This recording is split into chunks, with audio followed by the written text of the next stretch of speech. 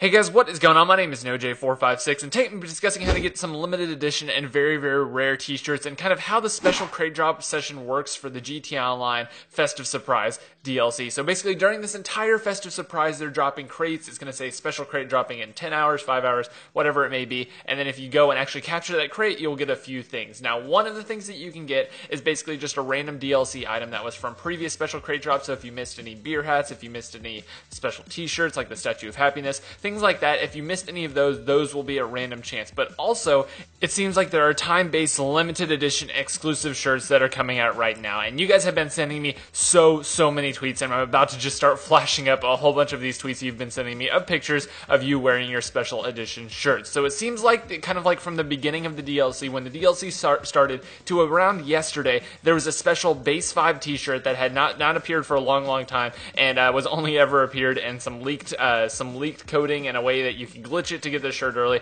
It doesn't really matter, but the base 5 shirt was kind of like the special shirt that was happening up until yesterday. So if you managed to get this, I'm pretty sure this is the last chance you'll ever have to get it, and it's pretty much impossible to get it now because it has already switched to a new shirt. But as you can see, this is the base 5 shirt. People were sending me this from the beginning of the DLC, getting it from special crates all the way till yesterday. Now, yesterday, it seemed like it actually switched to a brand new shirt, and let me show you that one right here. These are the tweets you guys sent me with the Bobo shirt. It seems like the Bobo shirt is the one that you can get right now in special crate drops. And if kind of the pattern continues around tomorrow or the day after that, they're going to switch it to a brand new special crate. So every couple of days, if you're playing, basically hop on once every time frame and get the new special shirt. If you want to collect all the rare special shirts once every couple of days, you'll have to get on and then actually get one of these uh, one of these special crate drops that owns one of these shirts inside of it. it seems like there's a much much higher chance of you getting a brand new shirt that kind of like the limited edition special edition one that is appearing right now for only the festive surprise DLC, and uh, it's very very cool. And I, I just love that Rockstar hadn't really talked about this. They kind of just said, "Hey, there's going to be some special surprises